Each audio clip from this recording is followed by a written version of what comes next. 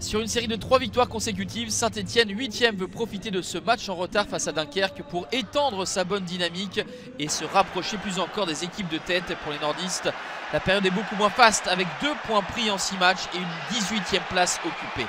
Les Stéphanois mettent beaucoup d'entrain en ce début de rencontre. Le ballon euh, qui arrive dans les pieds de Léo Petro, la frappe du défenseur stéphanois oblige Arnaud Balijon a une superbe intervention. L'inquiétude pour euh, Luis Castro, le technicien portugais qui traîne son deuxième match sur le banc dunkerquois à la place de Mathieu Chabert.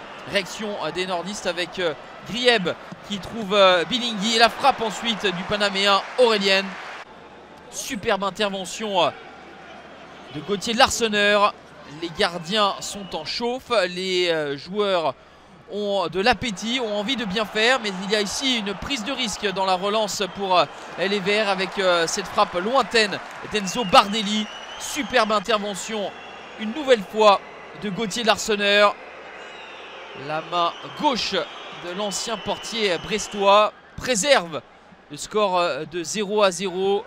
L'inquiétude aussi euh, se lit euh, sur les yeux de Laurent Batles, mais ces joueurs vont repartir de l'avant avec ce travail euh, sur le côté, le mauvais renvoi de la défense dunkerquoise et cette reprise spontanée de Petro. Elle est déviée, mais elle prenait le chemin du cadre. Il se déploie Arnaud Balijon pour sortir une deuxième parade de classe dans cette première période.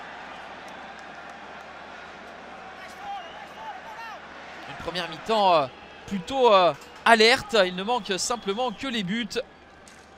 Les Stéphanois qui ont concédé euh, le score nul et vierge sur euh, la dernière réception face à Valenciennes.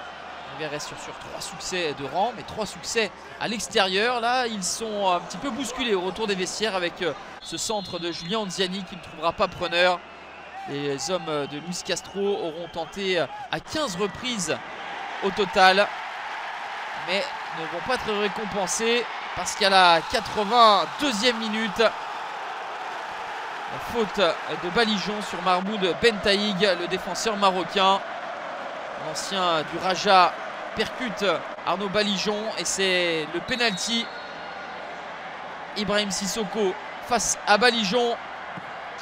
Plein axe en force, ça passe pour euh, le Malien. Sixième but de la saison, le quatrième penalty transformé. Saint-Etienne euh, qui a attendu euh, les dernières minutes pour euh, virer en tête.